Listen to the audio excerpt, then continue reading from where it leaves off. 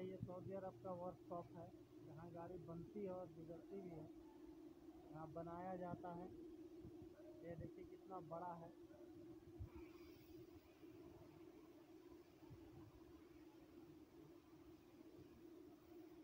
आपकी गाड़ी खराब है तो बना सकते हैं।